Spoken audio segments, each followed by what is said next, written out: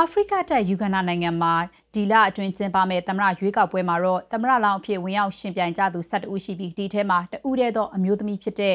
နန်စီကာလီဘေပါဝင်ပါတယ်။လက်ရှိသမရရဲ့34နှစ်ကြာအုပ်ချုပ်မှု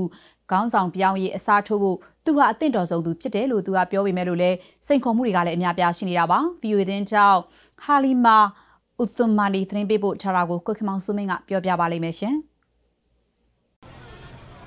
အာဖရိကတိုက်ယူဂန်ဒါနိုင်ငံမှာဒီနှစ်စဇန်နဝါရီလအတွင်းကျင်းပမဲ့သမရရွေးကောက်ပွဲမှာအမျိုးသား10ဦးနဲ့အပြိုင်သမရလောင်းအဖြစ်ဝင်ပြိုင်မဲ့မျိုးသမီးနန်စီကလမ်ဘီတူသာရှိပါတယ်။သူကနိုင်ငံအတွင်းမှာကျန်းမာရေးစောင့်ရှောက်မှုပညာရေးအခြေခံအဆောက်အုံနဲ့အလုပ်အကင်အခွင့်အလမ်းတွေစိုးစိုးဝါးဝါးကိုအားနည်းနေတယ်လို့ပြောပါတယ်။ ဒါအပြင်တစ်ချိန်လုံးကအာနာရှင်တွေကိုဖြုတ်ချရမှာပါဝင်ခဲ့ပြီး1986ခုနှစ်ကတည်းကအာဏာရလာတဲ့လက်ရှိသမ္မတယူဝါရီမိုဆွမ်ဘနီဟာသူကိုယ်တိုင်အာဏာရှင်လိုကျင့်သုံးနေတယ်လို့ပြောပါတယ် He said his first act of kindness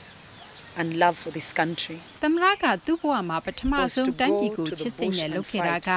တိုင်းပြည်လွတ်မြောက်ရေးအတွက်တိုက်ပွဲဝင်ခဲ့တာဖြစ်တယ်လို့ပြောပါတယ်။အဲ့ဒီတုန်းကကျမက6နှစ်အရွယ်ပဲရှိပါသေးတယ်။ ကျမအမြင်ကတော့နောက်ထပ်တိုင်းပြည်ချစ်စိတ်နဲ့လုပ်ဖို့လိုတာက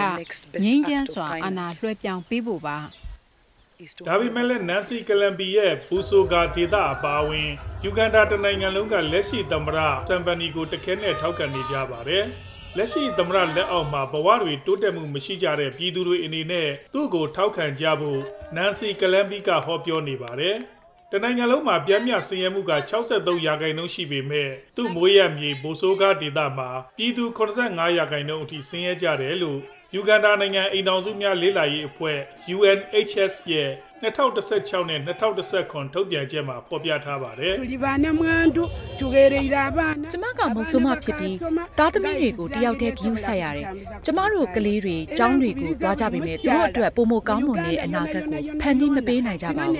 ။ဒါကြောင့်တနိုင်ငံလုံးကအမျိုးသမီးတွေအနေနဲ့ကျမတို့ရဲ့အချိန်အခါကြာရောက်လာပါပြီ။ကျမတို့ယူဂန်ဒါနိုင်ငံမှာအမျိုးသမီးလွှတ်တော်ဥက္ကဋ္ဌတယောက်ရှိပြီးအခုအမျိုးသမီးသမ္မတကိုရွေးကြရအောင်ပါယူဂန်ဒါနိုင်ငံမှာ1994ခုနှစ်တုန်းက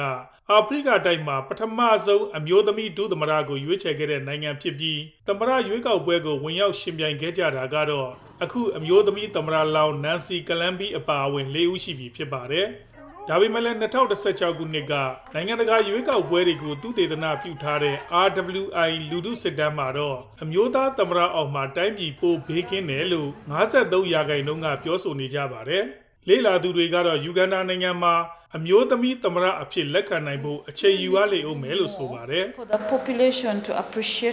အမျိုးသားဖြစ်ဖြစ်အမျိုးသမီးဖြစ်ဖြစ်ဘသူ့ကိုရွေးချယ်ရွေးချယ် အရေးကြီးဆုံးကတော့မဲဆန္ဒရှင်တွေအတွက်ဘလို့အကောင်းဆုံးလုပ်ပေးတယ်လဲဆိုတာကအရေးကြီးဆုံးပါပြည်သူတွေဘဝကိုပြောင်းလဲနိုင်အောင်လုပ်ပေးနိုင်သလားဆိုတာကအရေးကြီးပါတယ်ယူဂန်ဒါနိုင်ငံမှာရွေးကောက်ပွဲဝင်ခဲ့တဲ့အမျိုးသမီးသမရလောင်းတွေဘယ်တော့မှရွေးချယ်ခံရနိုင်တဲ့အခြေအနေအထိမရောက်ရှိခဲ့ပါဘူး။ ဒါပေမဲ့လည်းသူ့ရဲ့မဲဆွယ်စည်းရုံးမှုတွေကိုစစ်မှန်တဲ့ခေါင်းဆောင်မှုအပြောင်းအလဲပေါ်လာရေးအတွေးခေါ်ကိုအ ਨੇ ဆုံးတော့လူတွေဆက်လက်ခံထားဖို့တိုက်တွန်းနိုင်မယ်လို့နန်စီကလမ်ဘီကမျှော်လင့်ထားပါတယ်ခင်ဗျာ။ကျွန်တော်ခင်မောင်စိုးမင်းပါ။